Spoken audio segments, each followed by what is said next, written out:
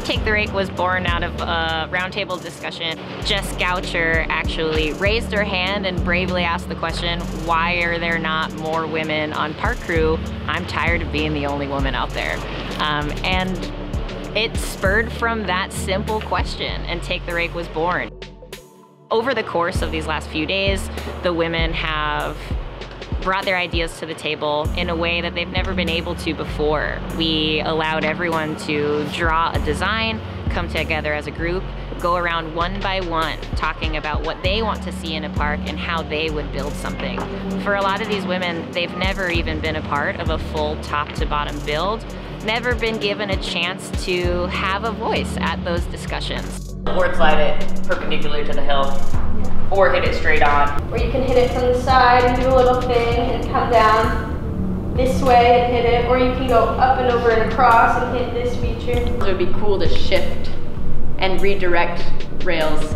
A wall that you could go over and then into like a mellow feature right there. I thought that that would be pretty sick. Um, so how far over slash down do we want to do that? Because that, that's kind of encroaching on second tier here.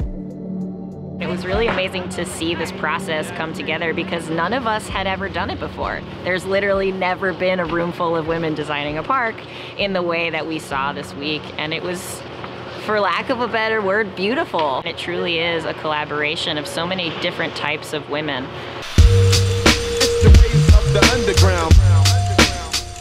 Some of these women have been in this industry for 10 years and some are just starting out. And it was a really important thing to have that um, variety in the park crew.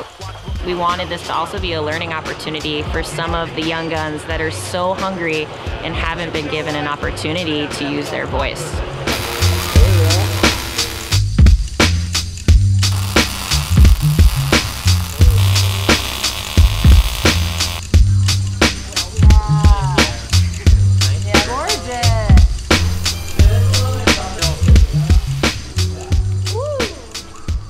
The is so momentous because it is the first time that a terrain park has been built entirely by women.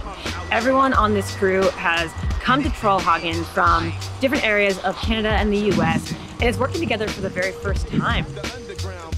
This is so exciting because in the resort operations world, they're like the rest of the snowboarding industry, but particularly in operations, there are far fewer women than there are men.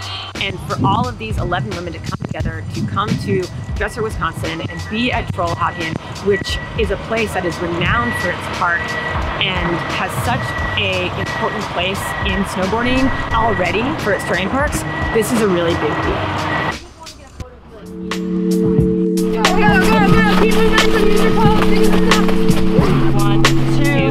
Two,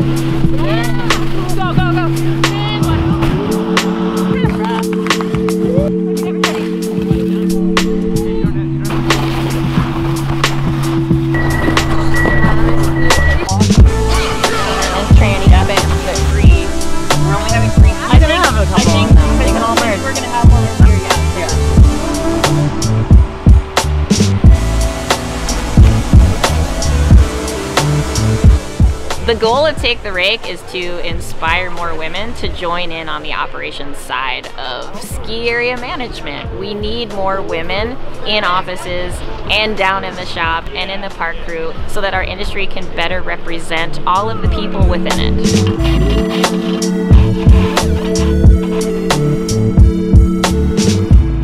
I hope that Take the Rake blossoms into uh, more events around the country, or maybe even not an event, that it just becomes commonplace to have women in the room when uh, parks are being designed.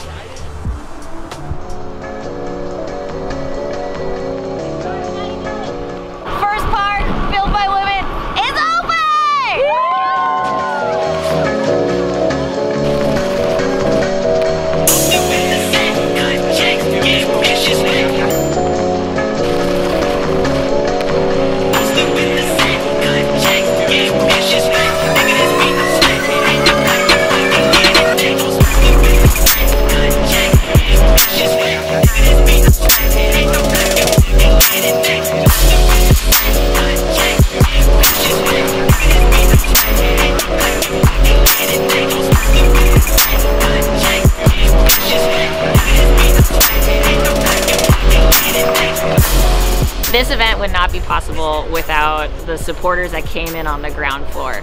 Pisten Bully, TechnoAlpin, Arena Snowparks, Liquid Death, Effective Edge, and Level Up Academy, and most importantly, Trollhaugen.